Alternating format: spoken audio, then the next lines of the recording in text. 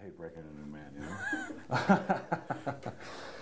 hey, hey, hey. See, I, I, every time I start these things, I go, hey, like I'm talking to Doug out here off camera. Hey, it's not hey. Welcome, welcome to the Welcome. continuing winemaker series of the Wine of the Month Club, and very pleased and honored to have Antonio. See, I have to check now. Maçanita. Maçanita, huh? From uh, Fita Preta Winery in Portugal. But what's kind of exciting, I was reading your bio online, and, and we can you can all check that out. But I was very intrigued with your winemaking history, which includes the little stint at Chateau Lynch-Bages, which of course is one of the Yeah. great classified growths of uh, Bordeaux. Tell us about that a little bit. That was great because after the experience in d'Arenberg in, in Australia, I met this winemaker that had worked at Pichon Longueville. And I was a rugby player, and I managed to get a deal with Pays Medoc Rugby. So I went Wow. to play for a rugby team, and they would give me a place in, in uh, The consultant winemaker is Daniel Llose. It's a very known, well, in the past he played a lot of rugby, so that's Yeah. how I got in. And then after was just a beautiful experience of how to do That's unreal. So isn't, isn't rugby just kill the man with the ball? Isn't that what it is? Right? You get the ball and you tackle. Right? roughly. We used to play that. Yeah. and so at Lynch-Bages, you also said you spent some time in Napa Valley. Yeah, so did 2001, 2010 in Na- in Napa Valley. So I did Merryvale Vineyards and Rudd Estate in Oakville. So Wow. that was just, uh, uh, first worked with Steve Test, that is just an insane winemaker. And then Charles Thomas, that it's, well, uh, I think the, the, the, the person that has taught me the most, uh, that is now in Quintessa. Uh, And so- why did you decide whenever that you wanted to be a winemaker? You were a rugby player, you wanted to be a winemaker. Well, Portugal, 20% of the, uh, the population is in some way uh, involved with, with the wine industry. So it's not very hard to get into No, right, the yes. wine industry. Well, family has always been, uh, and, and my cousin's side have been in, so we did harvest when we were young. But I think it was more to do, well, my father is a chemist and he does research yeah. on anthocyanins, so the, the, the, the, compo- the compounds that give color to wine. Uh-huh. So I've always been driven for science. Met a viticulture teacher. There's a bit of the guru uh, uh, in Portugal, Right. and um, just started heading this way. Uh, so- My father was a chemist too. oh, yeah. And he got into pharmacy, and then he thought wine was more interesting than drugs, so or alcohol was better than drugs, so that's what he decided to do. You know, we tasted some gorgeous wines just now, and I had to pick four so we get get get them on film. But I, I just it just hit me when you were talking that we don't have like vino verdes here. So some of the Nope. classical wines that Portuguese make, you departed from that. Yeah. Yep. Yep. Yep. Though you use a lot So- of indigenous grapes, which we'll talk about. But Uh-huh. So this is it's it's it's been interesting to present this region Alentejo because inland is our biggest brand, so to speak. It's your Napa Valley, Right. meaning everyone can relate to Alentejo in Portugal. People will choose Alentejo before choosing white or red. ah, interesting, yes. So for us, it's our local, uh, uh, um, well, most on the market uh, uh, uh, brand, if you can call it, appellation. Right. And well, uh, so that's So where's Vino Verde? Is not from that area. now Vinho Verde is north of the North, country, yes. and it's it's different styles. So just lighter Right. alcohol, just a bit spritzy, Right. fresh acidity. Well, this was really fun, though we're on a different vintage now. We're, on, we're doing a taste of 2008, but this is the, the sexy brand. Yeah.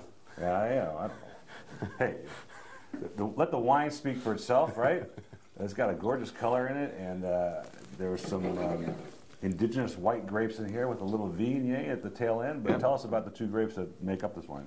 Okay, so uh, here the logic with the sexy. Well, sexy for me, it's a, an appealing, yummy wine. So that's that's the, where it came from. I'll buy that. Uh, Okay.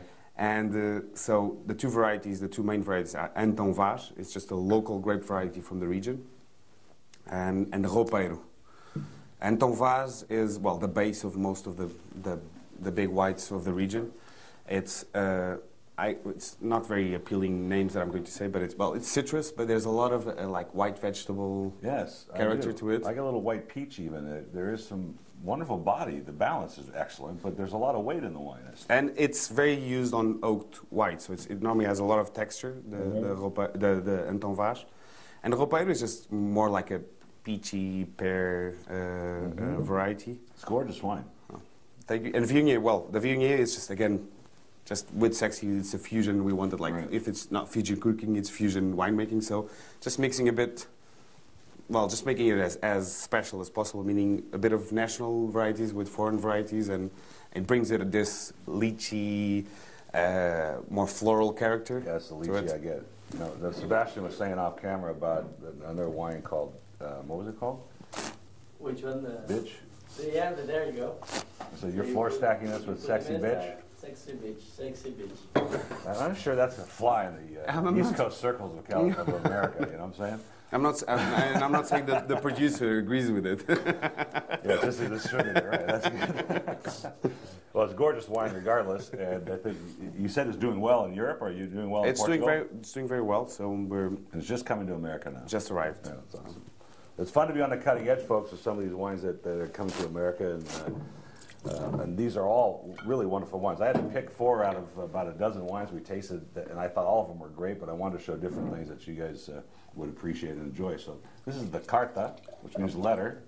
We were testing my Spanish today when we were tasting, all six years of it. But uh, I just found this very pleasant and very economic, very value oriented, and I love the spicy nose that we got out of this. And this is mostly what? So this is mostly our flagship variety that is Touriga Nacional. So that's grown for centuries in the port uh, region, and and it's what what really gives that personality, that floral character uh, to wines. If I could say something almost that the industry won't like, but it's almost like if you always had a bit of Viognier in your red. uh, so there's always a bit of a floral character to There it. is floral character. I love it. Um, and the rest is Aragonés. This is the same as Tempranillo uh, in Spain. So um, Great balance, wonderful density, uh, nice mid palate, but I get a little spicy component too, which I really find intriguing. But Aragonés can can get that um, uh, black pepper Yes, character black to pepper, it. right. And there, is there an aging potential to this wine? It's got enough acid. It seems like it's going to develop a little bit. Uh, well, uh, it's always hard for me uh, to go in that direction because that's not the goal for me. Right, Uh, yeah. So that what I'm more worried with this wines is one that they're nice to drink, Yes. that they smell like Portugal. So, That's true. Uh, so I want it to be yummy and that it just smells like Portugal. So that's the, the, the main goals with this wine. If it'll age, I'm, I'm pretty sure it has good grapes inside and has a bit of tannins. It- Although they're round, I'm pretty sure they will. Now it's interesting you said that because uh, grapes of Portugal smells like Portugal. You know, traditionally over the years that we've tasted wines and we've been doing it for 30 years, that would be an old world character, and this clearly is not an old world character. This is a very new Yeah. world character. So when I say it smells like Portuguese, they need to be modern, so modern winemaking and modern viticulture, so trying to do things clean. So Yes, that's, that's so what you get, right. when you call what we always said, this is a bit like old world character, or it's uh, VA, or it means bread. Sometimes Right. it means one of these two. That's right. but in this case, it's just really that there there's a specific varieties that are from our region, and you cannot fake that That's right, aroma. So that's just you can point it out and say, well, this this smells like Portugal to me. Right. Uh, You get that. You definitely. I really- You, you accomplished that goal, and that was excellent. uh, another product line, the Palpite, yep. and this is um, interesting. It's, I think it's got Cabernet in it, Yep. And you put it in a Burgundy bottle, which is kind of interesting too. But uh, it's Cabernet. How much per Cabernet? And, and, and So this is a 50, uh, um, don't, don't know it by heart, but I'd say 55% cab and um, 35%, uh, no, 25% uh, Tempranillo Aragonés and the rest Touriga Nacional. So, um, This, this, folks, I just bought a case of this for my own cellar, okay, because it's really good. And the Cabernet, it doesn't overpower it.